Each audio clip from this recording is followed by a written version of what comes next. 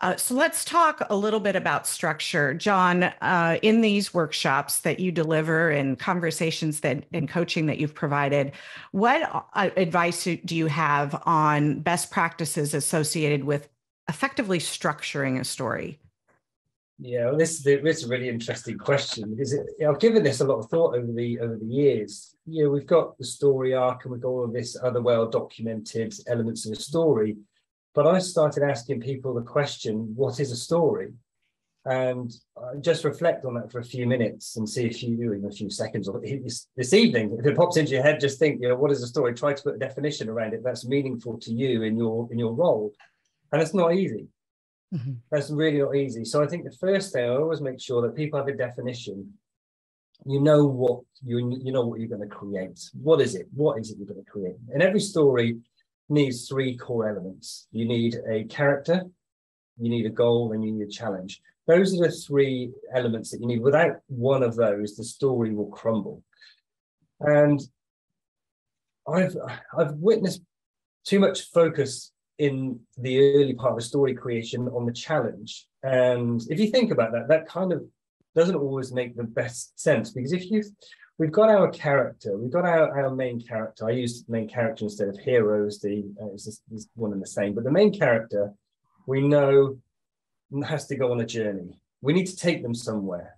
And if we think about this uh, from a movie story perspective, let's think about Liam Neeson, the character. What does he want? He wants his daughter back what does ET want? ET wants to go home. So we know the character, and then we know the ultimate goal, and then the challenges come after we know those pieces. And I think this is rather than asking people what are your challenges, what are your challenges, let's forget that. Let's go to the what do you want the end goal to be? Where do you want to go? And then come back and, start talking about the challenges.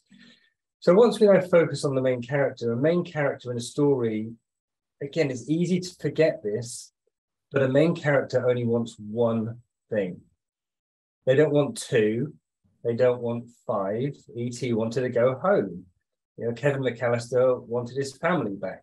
They don't want lots of different things. So keep it, keep it simple. Make sure you know the character, you know what they want, and then you why can't they get it?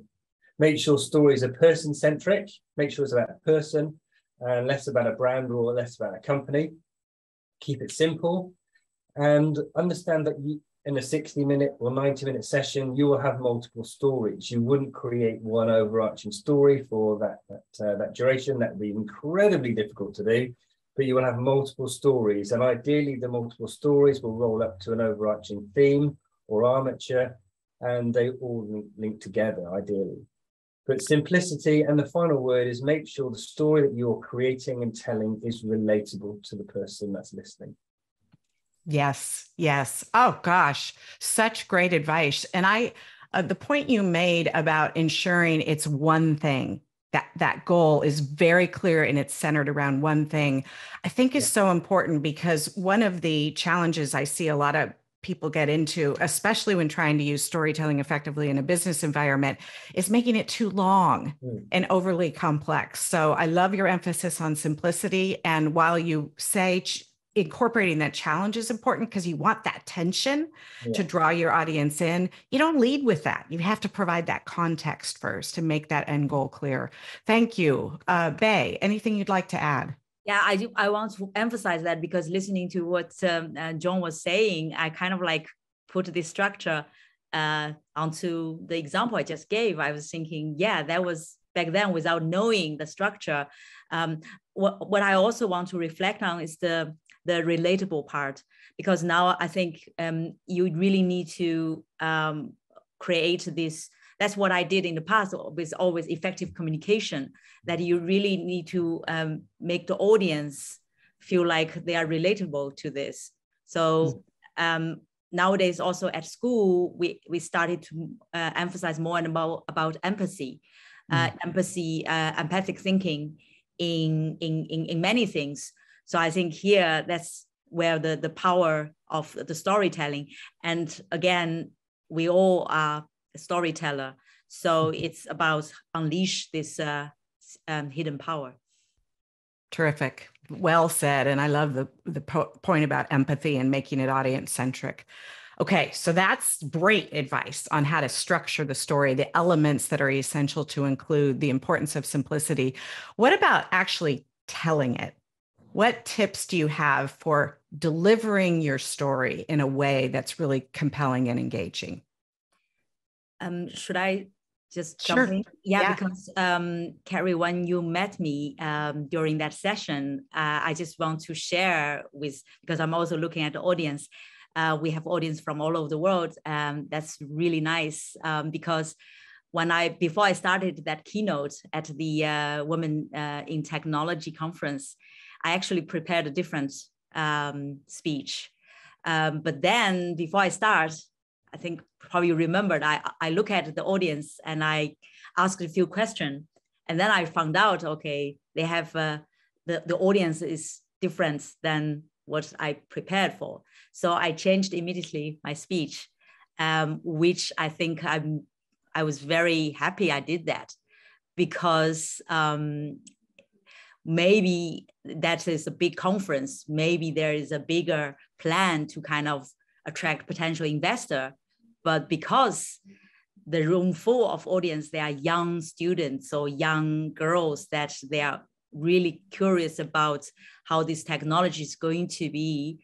So I think he, it's again audience centric. So when you mm-hmm. tell a story and probably before that, you just double check that whom you are talking to so that you can bring the right story because I'm sure like story have like all kind of form, but also even a, a, a narrative, you yeah. can bring it into a different story for different audiences. Wonderful, wonderful. That's not something everyone's able to do, Bei on a stage with a big audience to on the spot completely change your story. So I love the p- point about how important it is to know your audience and and doing as much of that audience analysis up front as you possibly can. Uh, Jon, what what would you add?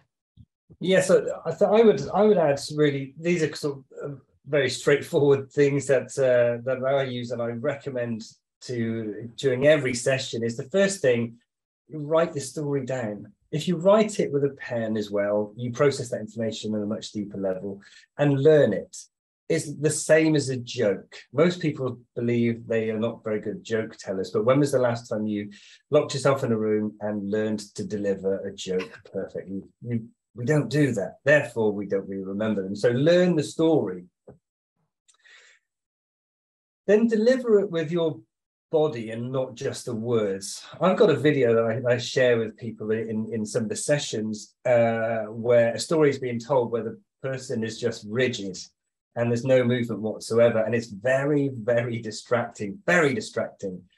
and, uh, you know, we know that even our early languages may well have been sign languages and not, uh, not, not spoken and we know that we can communicate our, our wants and desires from a very early age. Both of our children went through baby sign languages, so, so they could, even before they could speak, they could communicate what they wanted.